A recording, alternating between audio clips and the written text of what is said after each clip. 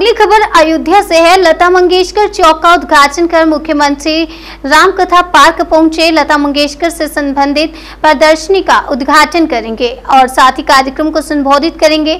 साथ ही अयोध्या के साधु संतों से भी मुलाकात करेंगे।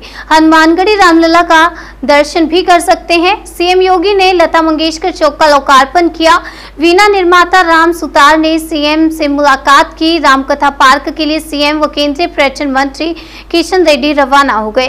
रामकथा पार्क में पीएम का वीडियो संदेश दिखाया जाएगा। लता मंगेशकर के जन्मोत्सव पर सांस्कृतिक कार्यक्रम होगा।